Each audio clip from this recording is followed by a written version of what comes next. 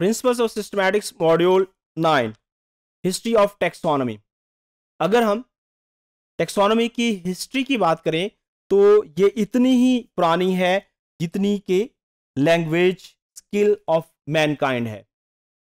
Taxonomy है क्या?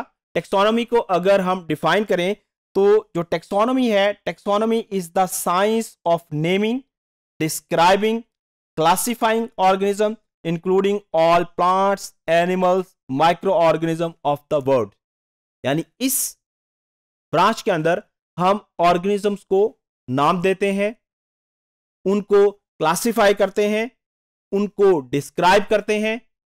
इसमें तमाम किस्म के ऑर्गेनिज्म शामिल हैं, चाहे वो प्लांट्स हैं, चाहे वो एनिमल्स हैं, चाहे वो माइक्रो ऑर्गेनिज्म हैं। अब अगर हम नेटिव जो पीपल हैं, उनकी बात करें या जो नेटिव ट्राइब्स की बात करें तो native tribes use to call species on the basis of their morphological characters यानी जो ऑर्गेनिजम्स के मॉर्फोलॉजिकल करेक्टर्स हैं, उसकी बेस के ऊपर वो ऑर्गेनिजम्स को डिफरेंट स्पीशीज के अंदर डिवाइड करते हैं। जबकि development of scientific theory of classification जो है, ये एक न्यू फिनोमिना है, ये एक नया आइडिया है। अब अगर हम मुख्तलिफ़ जो टेक्सोनमिस्ट हैं, उनकी जो कंट्रीब्यूशन है, उसकी बात करें तो उसमें जो सिम्पसन है, इसने 1961 के अंदर provided a valuable survey of history of taxonomy ये एक ऐसा टेक्सोनॉमिस्ट था, जिसके बारे में ये कहा जाता है कि he is one of the most influential palaeontologist of twenty century palaeontologist कौन होते हैं? ये फोसल्स के एक्सपर्ट हैं।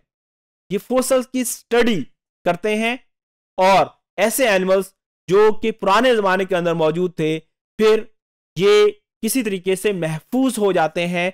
ये उन एनिमल्स के ऊपर स्टडी करते हैं। तो ये ट्वेंटी सेंचुरी का जो प्लेंटोलॉजिस्ट है, ये एक मशहूर प्लेंटोलॉजिस्ट है और इन्होंने जो फोसल टेक्सोनॉमिक स्टडीज़ थी, वो बहुत ज़्यादा की और उसके ऊपर सर्वेस कंडक्ट किए और इसने अपने व्यूज़ पेश किए। He publish extensively on taxonomy of fossil and extinct animals यानी इसने जो ज़्यादा काम किया, इसके अंदर इसने जो टेक्सोनॉमी थी, मुख्तलिफ़ फोसल्स की, उनको डिस्क्राइब किया, उनके सर्वेस कंडक्ट किए और ख़ास तौर पर ऐसे एनिमल्स ऐसे फोसल जो कि एक्सटिंक्ट हो चुके हैं। इसी तरीके से अगर हम स्मिथ की बात करें तो स्मिथ भी एक टेक्सोनॉमिस्ट था और ये ब्रिटिश म्यूज़ियम के अंदर काम करता था।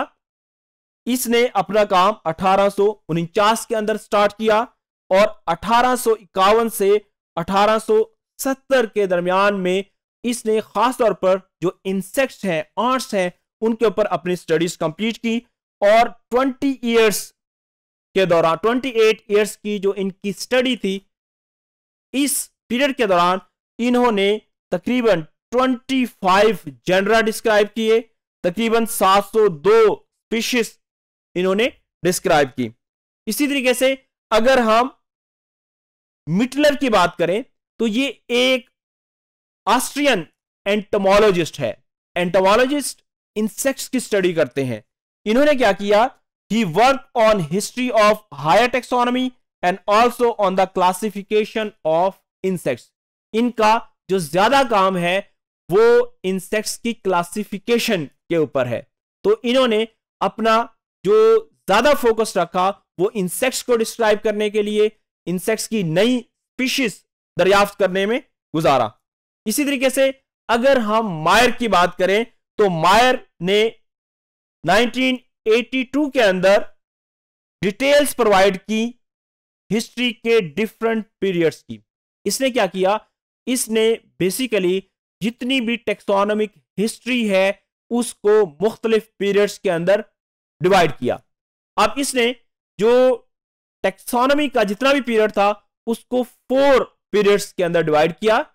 उसको इसने period one, period two, period three और पीरियड फोर का नाम दिया।